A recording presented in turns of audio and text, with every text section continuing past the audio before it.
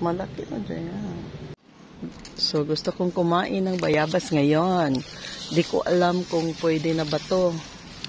Pero, ah, bahala na. Kain tayo ng guava. Ayan. Maliit pa kasi, pero harvest ko na. Malaki na dyan.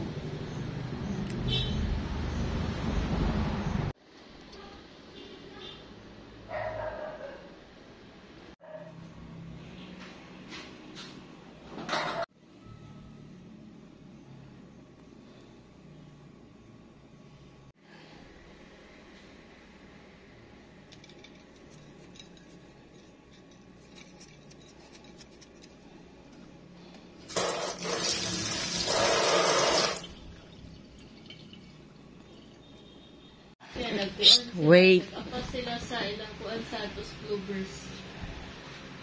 Kung sila movie house.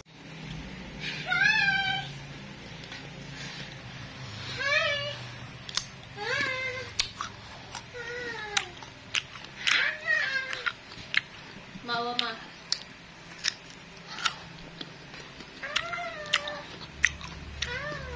Hmm. Ame.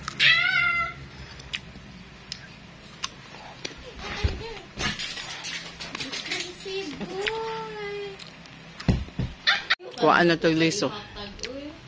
Hmm. Kuhaan ko liso. Hmm.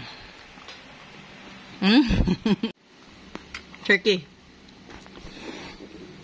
Hmm. Yum.